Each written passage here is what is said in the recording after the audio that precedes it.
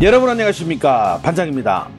벤투 감독이 이끄는 한국 축구 대표팀이 27일 서울 월드컵 경기장에서 열리는 카메룬과의 평가전에서 손흥민 선수의 결승골에 힘입어 1대0으로 승리를 거뒀습니다. 이번 평가전은 카타르 월드컵 본선에서 맞붙을 아프리카 강호 가나를 겨냥해 치러진 경기였으며 월드컵 전 한국 대표팀의 국내 마지막 평가전을 보기 위해 이날 6만 명에 가까운 팬들이 상암을 찾아 대표 선수들을 응원하며 그 열기를 더했지만 일부 주축 선수들이 빠진 카메룬 팀을 생각하면 경기 내용은 썩 그렇게 만족스럽지는 못했습니다. 이번 평가전에서 얻은 가장 큰 수확은 손준호 선수가 대표팀의 필요가 아닌 필수 요소라는 것을 증명했다는 점입니다. 지난 7월 부상으로 합류하지 못한 손준호 선수는 이번 경기에 선발로 출전, 황인범 선수와 더블 볼란치를 구성해 유기적인 호흡을 선보였습니다. 손준호 선수의 존재감은 역시 패스에서 드러났는데요. 공격 시에 후방에서 시원시원하면서 날카로운 패스로 공격의 시발점 역할을 맡았으며 특히 카메룬 수비 사이를 관통하는 날카로운 kill pass를 통해 대표팀의 공격에 힘을 불어넣었습니다. 뿐만 아닙니다. 손준호 선수는 수비할 때와 공격을 전개할 때 밑으로 깊게 내려와 김민재와 권경원을 도우면서 김민재를 필두로 한 수비진 변화에서도 효과적인 모습을 선보였으며 패스미스가 있으면 포기하지 않고 끝까지 뛰어가 다시 볼을 빼앗는 엄청난 투지와 활동량을 선보이며 탄탄한 공수로 황인범과의 공존 가능성도 확인했고 정우영과의 로테이션도 가능해 대표팀의 전력에 확실한 플러스 효과를 기대할 수 있게 되었습니다. 반면 본선을 앞두고 해외파를 총동원해 치를 수 있는 마지막 평가전이었지만 스페인 프리메라리가 도움 1위인 이강인 선수는 이날도 벤치에서 출발 결국 평가전 두 경기에서 단 1분도 뛰어보지 못한 채 쓸쓸하게 돌아가게 됐습니다. 이날 경기장을 찾은 6만 관중들은 이강인을 한 목소리로 연호하며 벤투 감독에게 그의 출전을 강요했지만 자신의 스타일을 집요하게 고수하는 벤투 감독은 미동도 하지 않고 끝까지 이강인 선수를 외면 비록 벤투 감독은 승리를 챙겼지만 한국 축구는 전도가 창창한 유망주를 어쩌면 월드컵에서 못 볼지도 모르는 아무도 풀지 못한 벤투 감독의 이강인 미스테리 문제에 직면한 아쉬운 평가전이기도 했습니다.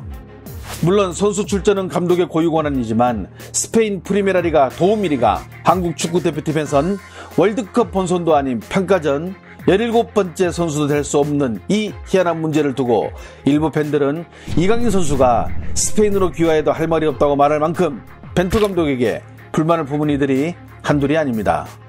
두 차례 평가전에서 그것도 해외파를 모두 소집해 다양한 테스트를 해볼 수 있는 마지막 기회를 그저 쓰던 선수, 자신이 선호하는 선수 위주로 쓴 채 마무리하고 말았는데 후반 들어 황인범, 정우영의 패스와 움직임이 현저하게 떨어졌을 때도 이강인에게는 기회조차 주지 않는 모습은 차후 월드컵 본선 경기 결과에 따라 여러 말들이 나올 여지를 남기며 이제 벤투 감독에게 이강인은 안중이 없다는 점만 확정적으로 알 수 있는 평가전이기도 했습니다. 중국 언론 역시 이번 평가전이 끝나자마자 관련 소식을 신속하게 전했는데요.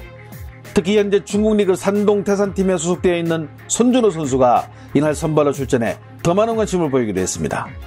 먼저 신화스포츠와 소우닷컴은 손흥민 선수의 헤드골과 선발로 출장한 손준호 선수의 활약으로 한국팀이 카메룬을 상대로 1대0으로 승리한 소식을 신속하게 전했습니다. 매체들은 지난 코스타리카 평가전부터 계속 골을 넣은 손흥민 선수가 이번 카메룬과의 경기에서도 전반 35분 황희찬에게 내준 공이 김진수의 중거리 슛을 거쳐 손흥민의 헤딩골로 연결된 장면을 이날 경기의 하이라이트로 꼽으며 시간대별로 주요 장면을 상세히 소개했습니다. 특히 이날 산동 태산에서 뛰고 있는 손준호 선수가 선발로 출장해 그 효력을 입증한 부분을 중국 매체들은 언급했는데요. 이날 처음으로 벤투 감독의 선발 출전 부름을 받은 손준호 선수가 경기에서 4차례 인터셉트와 5차례 롱패스 성공 및 패스 성공률 86%를 선보이며 벤투 감독의 눈도장을 받아 월드컵 본선 진출에 뛸 수 있는 희망을 갖게 됐다고 자세히 분석하기도 했습니다. 왕이 뉴스와 덩신왕 역시 손준호 선수의 활약상을 소개하며 한국 언론이 이번 카메룬과의 경기에서 손준호 선수가 보여주는 활약에 크게 고무되어 있다고 관련 소식을 전했습니다. 매체들은 약 1년 만에 기회를 잡은 손준호 선수가 71분간 활약하며 공수에서 모두 존재감을 선보였으며 이날 손준호 선수의 활약으로 인해 한국 축구팀의 후방 빌드업과 수비력은 안정감을 찾게 되었다고 전했습니다. 또한 이날 경기를 승리로 이끈 것은 손흥민의 헤더골이었지만 경기에서 안정적인 존재감을 보여준 손준호는 카타르 월드컵을 두 달에 앞둔 시점에서 벤투 감독의 훌륭한 옵션으로 떠오르며 월드컵 본선에서 뛸 수 있는 가능성을 다시금 열어두었다고 보도했습니다. 축구 소식을 전문적으로 전하는 중국의 동구제는 이강인 선수를 기용하지 않은 부분에 대한 벤투 감독과 손흥민 선수의 인터뷰를 자세히 소개했습니다. 먼저 동구제는 한국의 많은 축구 팬들이 스페인에서 뛰어난 활약을 펼치고 있는 이강인 선수를 기용하지 않은 부분에 대해 많은 궁금증을 가지고 있는데 이에 대해 손흥민 선수는 어떤 말로 위로해야 할지 모르겠지만 강인이가 소속팀에서 정말 잘하고 좋은 선수인 것은 분명하고 자신도 한 명의 축구 팬으로서 강인이의 플레이를 보고 싶었지만 출전 결정은 감독님이 하신다고 말한 내용을 전하기도 했습니다. 또한 동구제는 벤투 감독은 6만 한국 팬들이 이강인을 연호하는 것을 들었을 때 어땠냐는 취재진의 질문에 팬들이 이강인 선수를 좋아하기 때문에 좋은 말씀을 해주신 것으로 생각해서 좋은 감정을 갖고 있다고 말한 내용을 전하며 벤투 감독은 이번 9월에 치른 평가전 두 경기 모두 이강인 선수가 출전하기에는 좋은 순간이 아니라고 판단했지만 이에 대해 한국 팬들뿐 아니라 중국의 팬들조차 의구심을 느끼는 이들이 적지 않다고 관련 내용을 자세히 보도하기도 했습니다. 스포츠 전문 소식을 전하는 구천화와 주보는 손흥민 선수의 골로 한국이 카메룬에 1등으로 승리한 소식과 황희조 선수의 부상 소식을 전했습니다. 매체들은 한국팀이 손흥민의 결승골에 힘입어 카메룬을 한 골차로 꺾은 소식을 전하며 지난 코스타리카와의 2대 무승부에 이어 9월 A매치 2연전을 1승 1무로 마친 소식을 보도하며 중국 리그에서 뛰고 있는 손준호의 뛰어난 활약도 있었지만 후반 27분 정우용을 대신해 들어간 한국팀의 최전방 공격수인 황의조가 9분 만에 부상으로 쓰러지며 한국팀은 이번 경기의 승리에도 마냥 웃을 수만은 없게 됐다고 관련 소식을 전했습니다. 한국과 카메룬의 평가전을 지켜본 중국 네티즌들은 어떤 반응을 보일까요? 손준호 중국 리그에서 최정상급 미드필더이고 이번 경기 보니까 영리하게 잘 차더라. 월드컵에서 한국 국대 선발로 나갈 것 같은데 손준호 이번에 확실히 안정감이 있었어. 월드컵 최종 본선 명단에 들어갈 가능성이 커졌음. 그나저나 왜 중국 팀하고는 평가전 하고자 하는 팀이 없지? 첫째, 일단 우리가 안 나가고, 둘째, 중국에 들어오는 팀도 없고, 셋째, 중국 팀과 평가전 해봐야 전술적으로 얻을 게 없으니까. 이강인은 대표팀 명단에 있는데 두 번 다 출전을 못하네. 이게 가능한 일인가?